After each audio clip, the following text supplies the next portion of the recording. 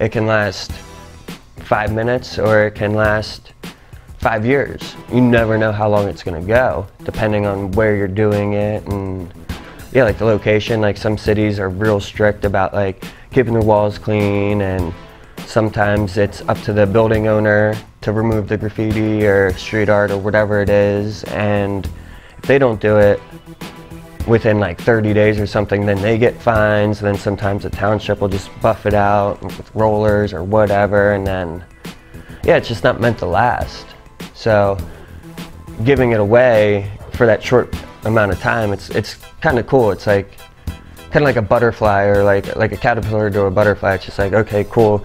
Here's that, then that, and then it's done.